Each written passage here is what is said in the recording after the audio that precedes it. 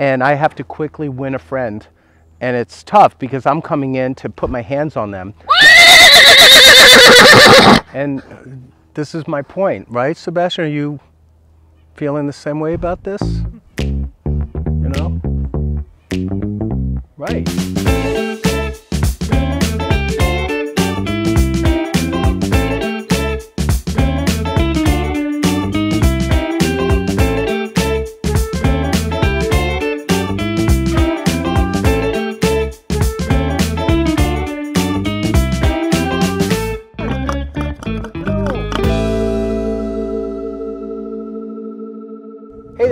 Dr. Doug Willen. Thanks for joining us today. Today I'm at Rising Starr Horse Rescue in Connecticut. It's about an hour from where I live. This is my third time here, and today I'm back. I'm going to see a few horses today that you'll get to see in coming weeks as separate videos.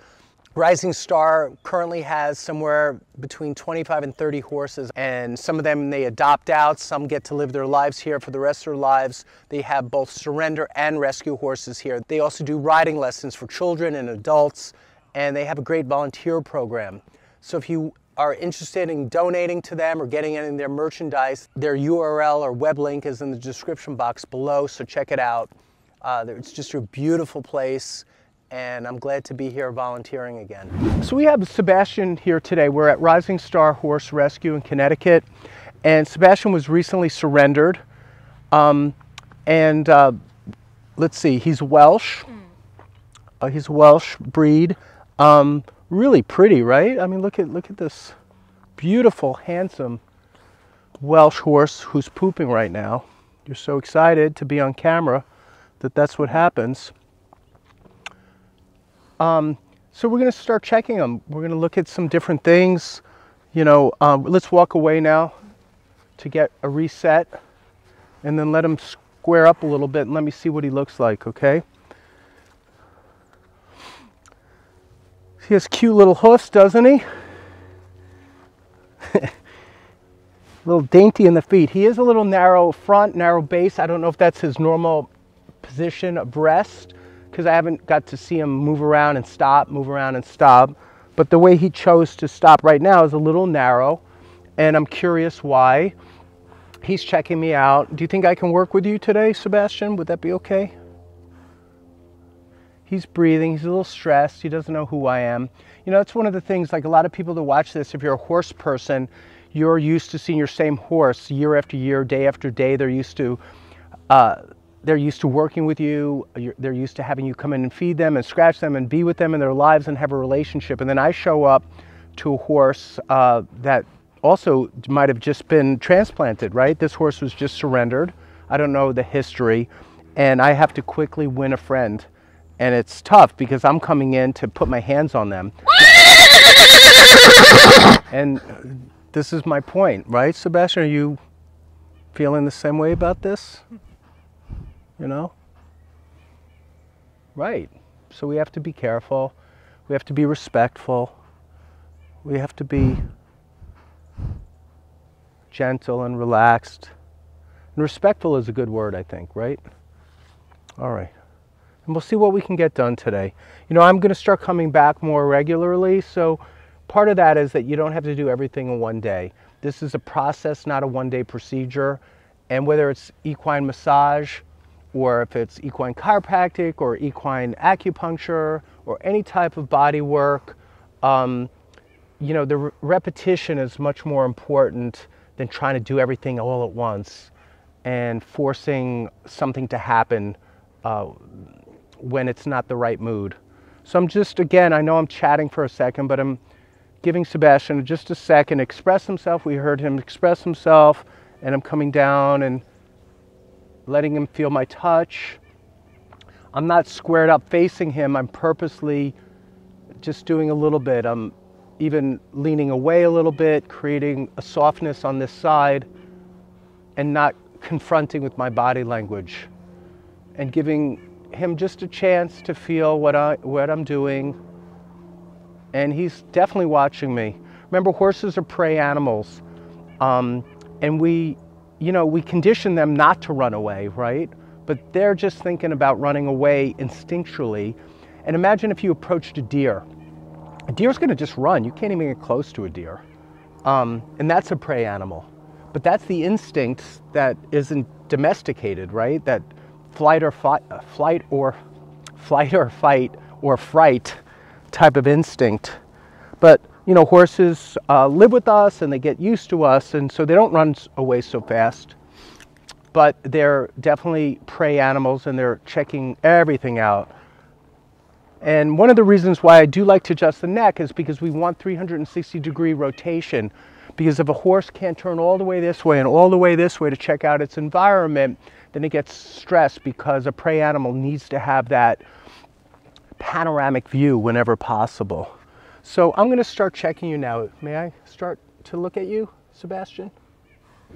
Hey, this is Dr. Doug Willen. This is my Collagen for Horses product. It's 100% collagen. It's American made. You put a little bit in the horse's food every day and you're gonna see a difference in the coat, in the teeth, the hoofs, the connective tissue, muscle ligaments. It's good for that older achy horse, but it's also good for a developing horse that's growing into its adult body. Give it a try. Okay. And he's still a little up. Do you see how his head's up a little bit? So I'm going to ask him to bring his head down just a little bit and see if I can get him to just relax a little bit. And again, I'm doing a little bit more before I get started because he's a little anxious. I'm getting him just to, I'm tugging the littlest bit down asking him to soften his top line. I'm going to take a breath in. Taking a breath in.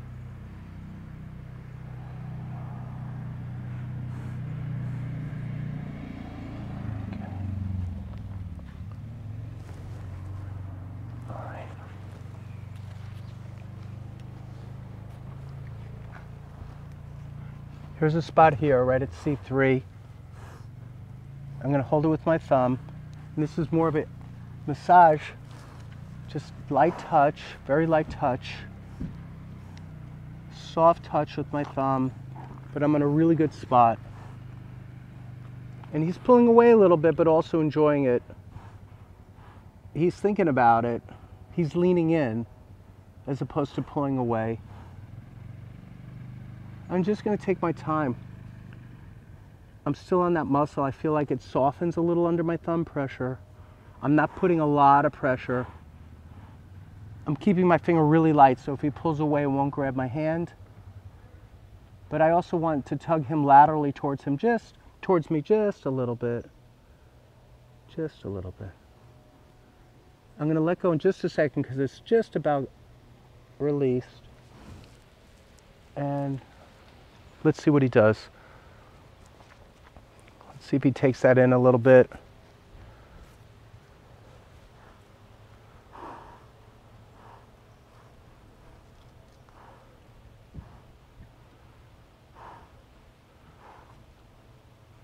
I'm watching the set of his ears, his nostrils, his top line. He's, he's relaxing a little bit. Is he relaxed a lot? No, he's not but we, we're making a little bit of progress. Okay, let's keep going, okay, Sebastian? Oh, first I want to check that spot again. It's much better. Checking down the cervicals. Let's check up at the poll.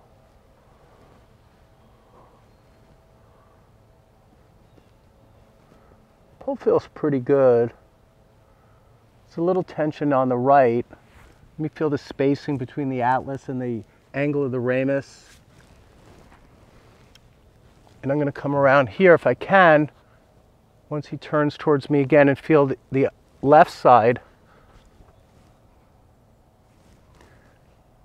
And the left side's a little closed down, so I am going to adjust that. I'm going to switch sides with Sam. And this one might make him get a little jumpy because this is very sensitive area. But I'm going to try to do it soft. Bring his head down a little bit. Got it. You could hear that click a little bit too. So let him, let him take that in. That's going to take a second. but there's your licking a little bit. I, I got it. He had a left superior atlas. Let's just give him a second.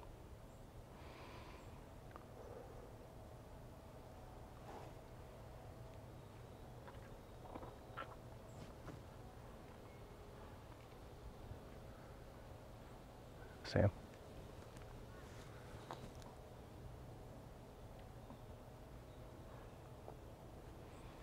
All right.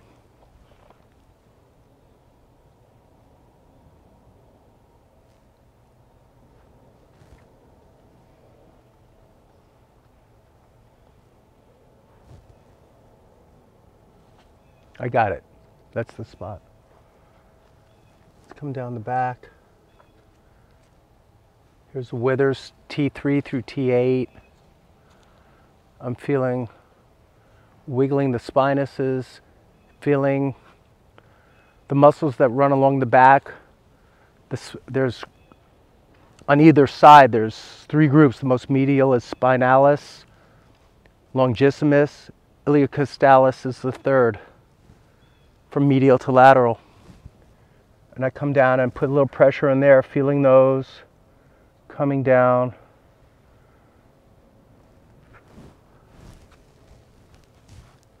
And here's a little spot here.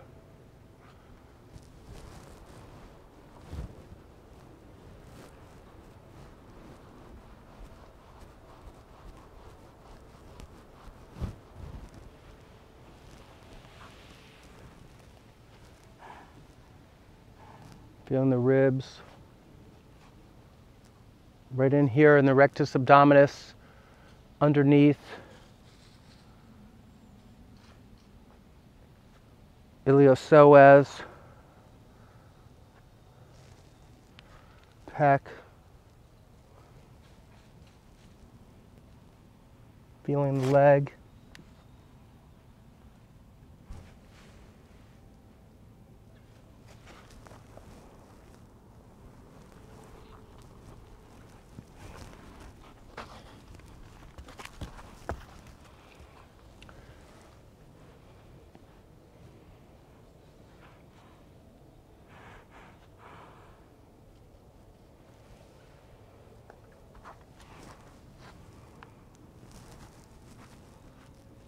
Can I have your leg?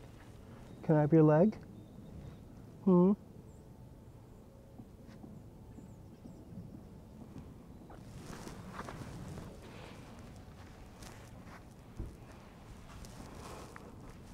May I have this?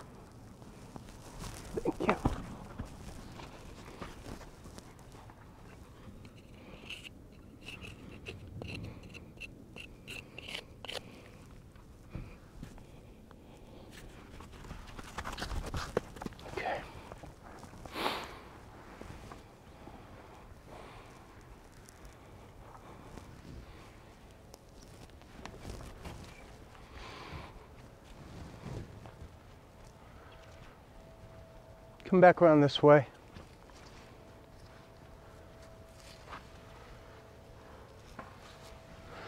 I just want to take a quick peek at his hoof. Um, like I said, I'm going to come back. There's no reason for me to make him more anxious than I need to. I wasn't necessarily curious about adjusting his front limb as much as I just wanted to get it just a quick snapshot view of the health of the hoof. So what I did see, I scraped real quick. I have my my pick with me. Um, that the sole was strong and uniform. Um, the frog was really healthy.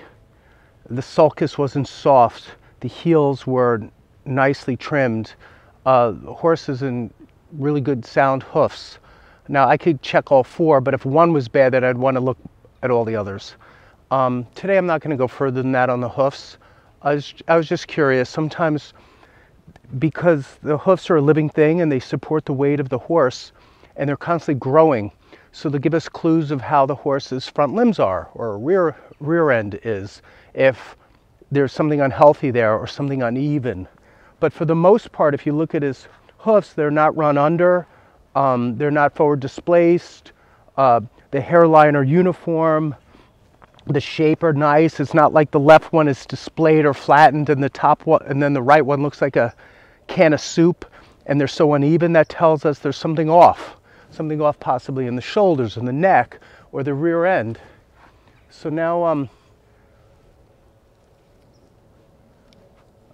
there's a pressure point here I feel that I'm gonna just contact for a second. I'm watching that leg. I don't really feel like getting kicked today, but I do want to hold this pressure point. So I'm gonna, he's, he's holding that leg up, but I want to hold this until he puts that leg back down and squares up again. So my thumb is pushing up into the glute.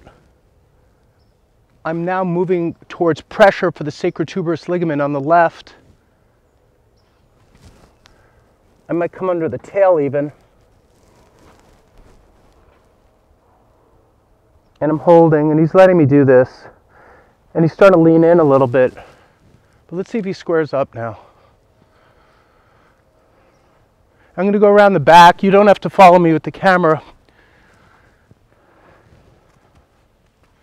But I'm looking at the, uh, the ilium can pitch forward on the left or the right. And I'm just watching him move a little bit. He doesn't like me this close to his rear end. But he's got an AS ilium on the left, where the left part of the ilium sinks down. It goes anterior or ventrally. And so I'm going to set up right here especially if he lets me by leaning in. Hi there, buddy. Can I do this for you? He's small, so I have to get under it and go at a 45 degree angle up. Got it. You can hear that click too. Did you hear that a little bit? So let's let him integrate that for a second.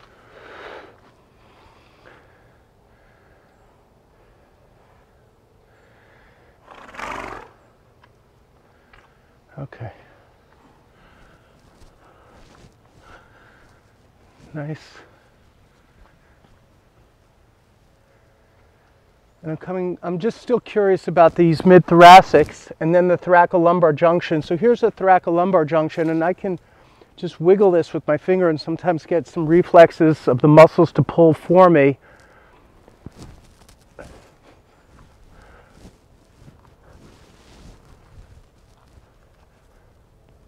And I'm going to adjust that in a second. I'm going to come around though.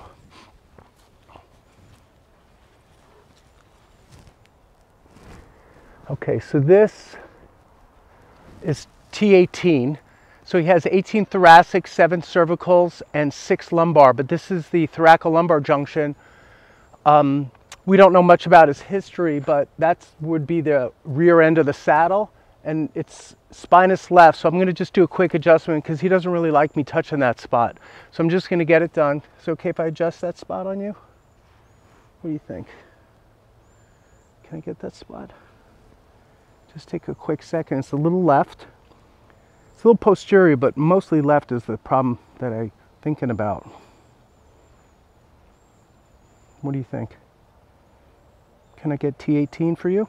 It's gonna feel really good, especially if you ever put a rider up there. So here it is. You ready? Here, come back this way so the camera can see you, okay? So this time, uh, Sam, I'll have you on that side just, just to give some counter, um, enough tension to, to keep them straightened up. And I'll be real quick. You can move in a little closer to see this with the camera. And here we go. Got it.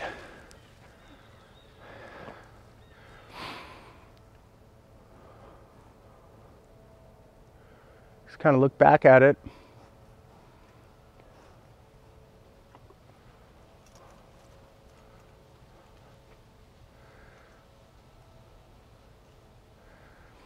the last thing I want to do is I, I, I, really start now to see that he is a little narrow in the base of the front. The front base narrow. I've seen him square up a few times. The back depends. He sometimes lands, here look at me, sometimes lands nice and centered in the back. Sometimes he's a little sugar-footed or forward on one or light on the leg, but that's the leg I adjusted, right? I did the front left ilium to level that out. The front just always is narrow, so I want to feel the pecs, and I also want to go under the front left armpit, if I can call, can I call it an armpit? That's what I call it on me. But I'm under there, and I'm looking for a spasm. And I'm looking also at the pec.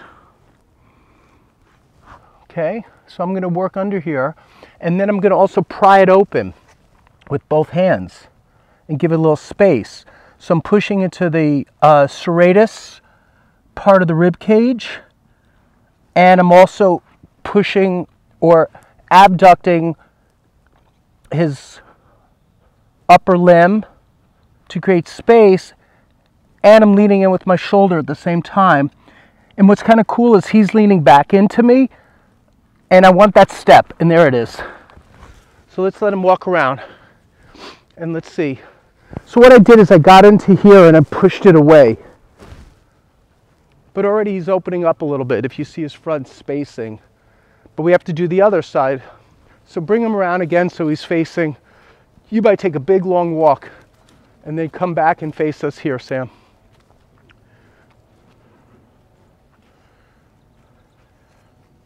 And then come back this way and square them up right into the sun. Okay, you ready for me? We want to do this side too, right? May I? So this is the leg. Now we're going to wait and watch him step away. I'm holding this pressure point under, like up in here. That's where I am. And there's a, and you can almost, just, I don't know if you guys can see it, but he's twitching there when I hold this too. So I'm going to counter pull, push and pull, creating space, let him step. That's good. I want to do one more of those. He's doing a little cross step. Hey, bud. I'm on a very tender spot here. There it goes. That's what I want.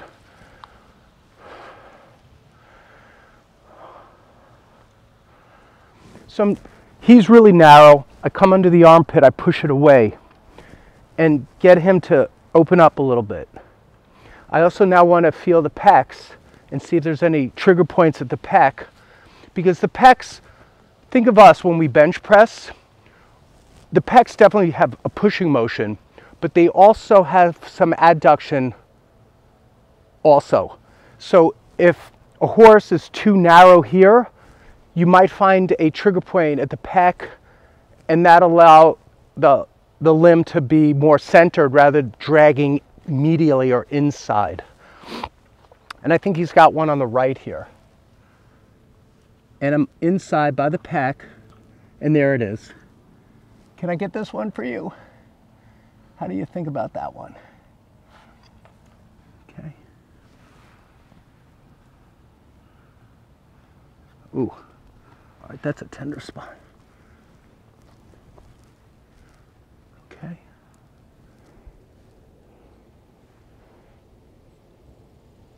I'm holding this spot. This one I am digging in a little bit, but it's a powerful muscle on a horse. and there we get a step. Okay, let's come back here talk to me for a second. Okay, I'm gonna do one lower spot too on you. This is lower cervical at C7. And I'm gonna see if he'll let me cradle his head for a little bit. Hey. A little longer. A little longer. My fingers are under the scapula, so I'm all the way into C7. My fingers are buried underneath.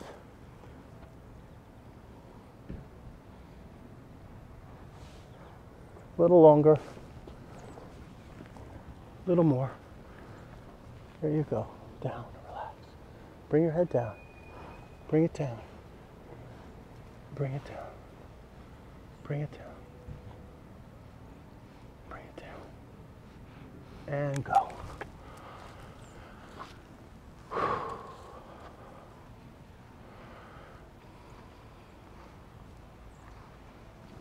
That's what we wanted. And look at his base. Look at that. Nice and wide now.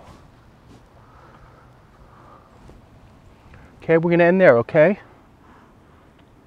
Thanks for letting me work on you today. Hmm? All right, a little more. There you go. Down, relax. Bring your head down.